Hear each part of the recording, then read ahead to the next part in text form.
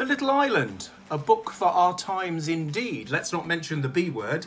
This is a lovely little book because, in addition to being very humorous and lively and fun to look at, it also explores a number of contemporary issues in an accessible and highly engaging manner.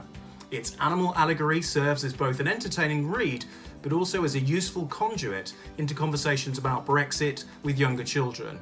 It also raises themes of the pitfalls of nostalgia, isolationism, and the need for compassion and empathy for others, but also encourages to build bridges, not walls. So this is The Little Island.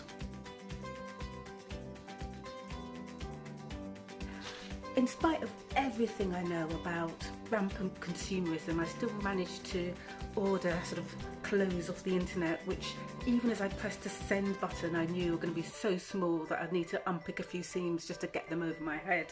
And what I like about Sneaky Beaky is that it talks about, I suppose, rampant consumerism, but in a very warm and engaging way.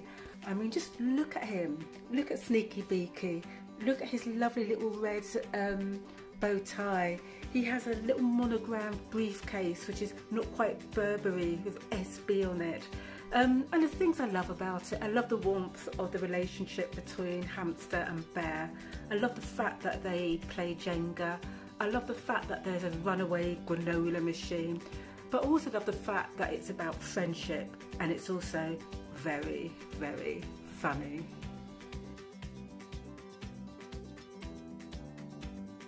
Want to tell you about Bali Rai's Now or Never. I love this book.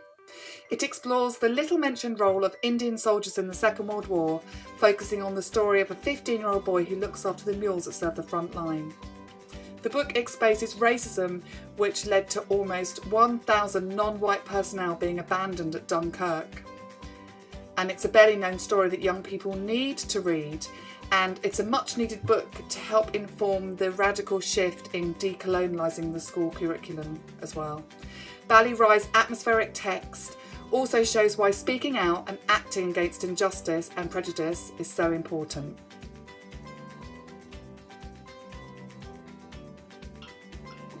The Closest Thing to Flying by Gill Lewis is tremendous. A young refugee in contemporary London finds a hidden diary written by a young woman in the 1890s. Um, the two stories intertwine. There are lots of issues and plenty of politics explored in a really nuanced and subtle way. It's a really gripping storyline with lively characters. I had no idea where it was going and I couldn't put it down. It's an absolute delight.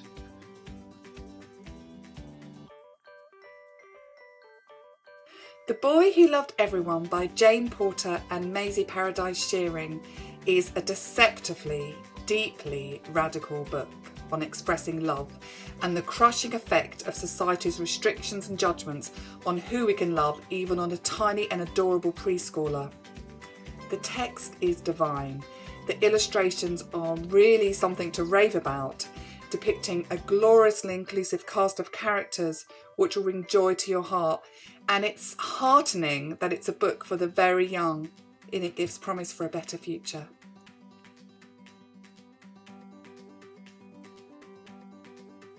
Phoebe Swan's King Leonard's Teddy is a beautifully illustrated story that encourages children to think about the impact of a throwaway society. Leonard's much loved Teddy is the catalyst for his realisation that new stuff isn't always the best solution. He begins to fix things and buy fewer things, and in the process, he becomes less of a solitary figure. It's a vision of a more environmentally friendly way of living that is offered for children to think about and to discuss. Sofia Valdez, Future Prez, yay! This is a really inspiring and richly illustrated story about a young girl striving to make a difference, not just for the sake of her own family, but also for that of others in her community and in her school. The book tracks her journey from compassionate school pupil to impactful social activist, and that really resonates with the Extinction Rebellion generation and where we are now in the world. It encourages us all to be compassionate and courageous on behalf of ourselves, but also on behalf of others, whoever they may be.